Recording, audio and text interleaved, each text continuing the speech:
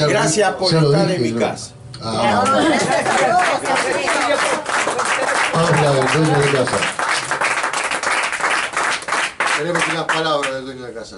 No. Uno.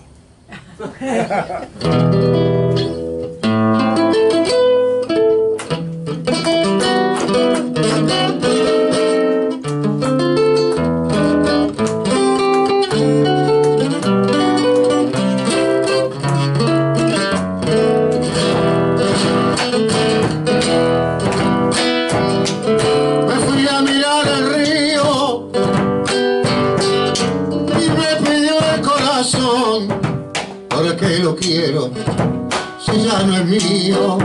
Le dije al río y se lo llevó. ¿Para qué lo quiero si ya no es mío? Le dije al río y se lo llevó.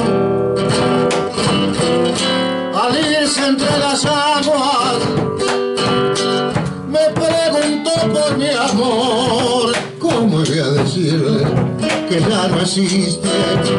Que el agua triste se lo llevó. ¿Cómo voy a decirle que ya no existe?